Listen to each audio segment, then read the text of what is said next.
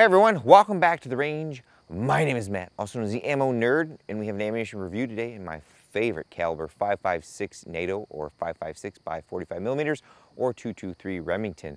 This is our Prvi Partizan or PPU M193. This is actually quote unquote military surplus from Sam at SG Ammo. This is a 2015 lot that he picked up, I think like a million rounds or something like that, and has this as well as our 7.62 NATO for sale.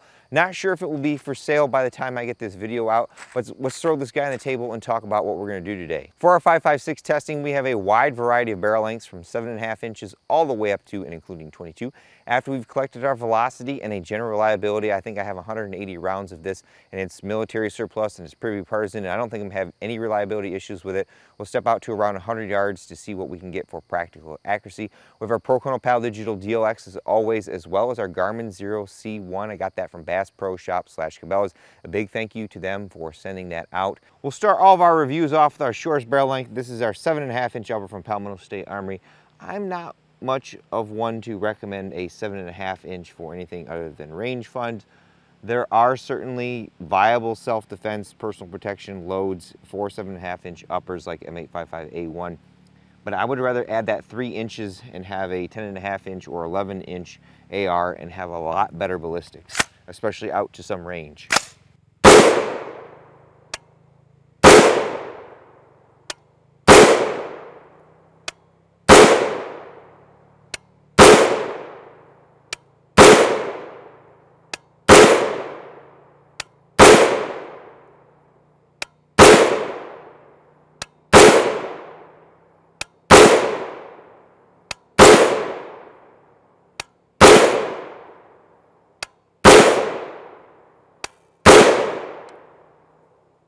Now onto our 10 and a half inch, again, another PSA build. This has the Sig Sauer Budget Tango MSR up top. Very nice optic. I like the very clear glass and wide field of view on it.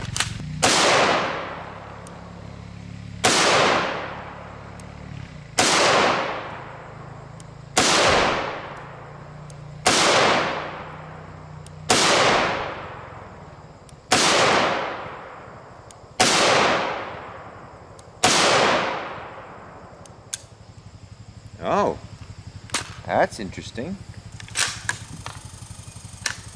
That was a light primer strike, folks.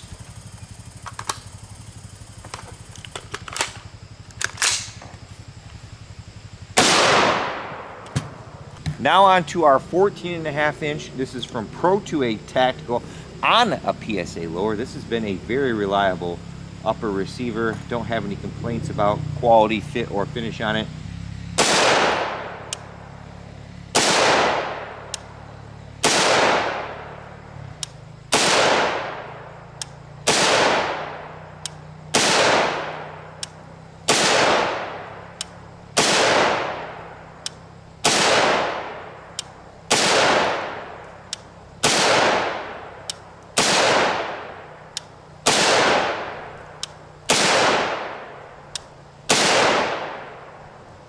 Now onto our 16 inch. This is new for range use and or testing. Our Keltec RDB. This is a bullpup. What's somewhat unique about this is it actually ejects brass down the bottom, kind of like a P90. So it is ambidextrous, so to speak. There is no left or right that you got to worry about the brass coming out. You can change the charging handle up front. We've got the Gunner Odin 1 to 10 optic up front. This is a newcomer to the market, just started reviewing it. It is a first focal plane scope. Very, very nice. I like the turrets. The downside that I can think of right off the bat is probably the illumination. It's quote unquote daytime bright and on the sixth setting during the day, it could be a little brighter.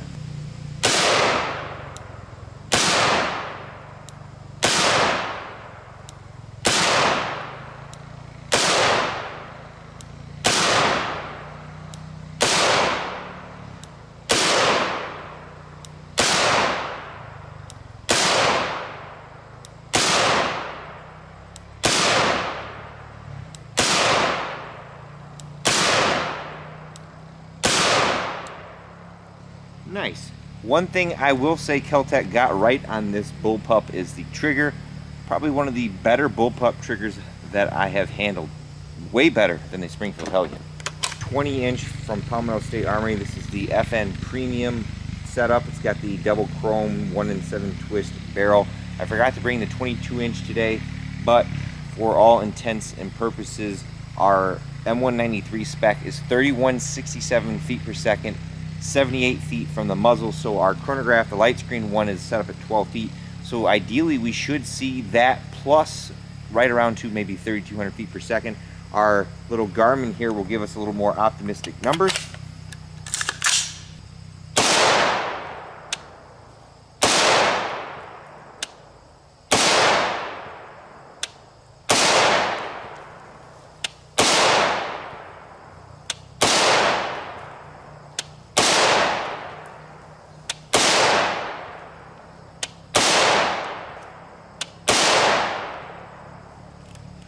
We were seeing numbers over 3,200 feet per second with this 20 inch.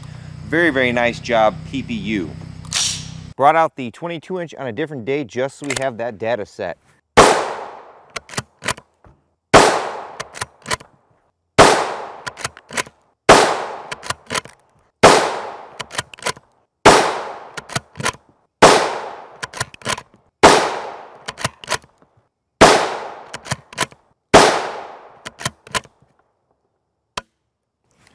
Very, very good jump in velocity off this load. I think if you were gonna pick up some M193, this is gonna be it, folks, right now. Here is our 2015 surplus PPU at 100 yards. We're using the Keltec RDB with a 1 to 10 first focal plane LVPO. We were doing a tracking test. Our very first group was 2.270 inches, and it's about three to four minutes between each group because I've walked down and checked. So our second group 2.372 inches. We shot that four shot group for some reason at 1.694 inches because I can't count. Our third group then opened up at 3.827 inches, maybe because I'm adding a little bit of heat there. And then this group, 2.915 inches. And then our last group, which was to come back to zero, was our best group, 1.331 inches. Not too shabby if I do say so myself. We also shot the TC Compass on the same day, 3.287 and 3.383 inches at 100 yards. That's in lead sled. That's a 16 power first focal plane scope, about 70 degrees outside today, a little bit of wind. So that's about par for the course. I would say above average with our RDB. Not too shabby. Well, folks, I think you all would be fools if you didn't pick up this M193. If you're looking for something that meets that specification velocity-wise, mind you, as well as the primer and bullet are sealed, this is going to do it for you. This 2015 lot of PPU was right in line with some of the 2009 stuff that I found in my stash. As far as our accuracy goes, we had pretty darn good accuracy out of our 16 inch. The 22 inch was wavering a little bit, but I had been out here all day and it could just be that that extra velocity that we're seeing is causing our group sizes to open up a little bit. Out of the 160 rounds that we fired, I didn't have any pierced or popped primers, cracked necks, separated rims, or any other issues of that kind. I did note a little more muzzle flash on these loads when firing from some of our muzzle brakes. With all that being said, it's time for me to get the heck out of here, but at the end of all my videos, I take a moment to thank all those who helped make these possible because there's a lot that goes into them. Number one is my family. They're out here all the time helping me take care of this property and clean up my father's estate.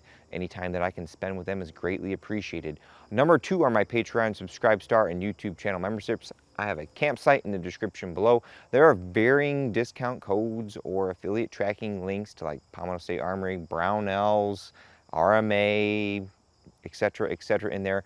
And they earn me a sales commission when I make a sale off one of those links. And what I do with that is I put it right back in the channel. I purchased that ammunition from SG Ammo at a discount so that I could give you guys a review on it.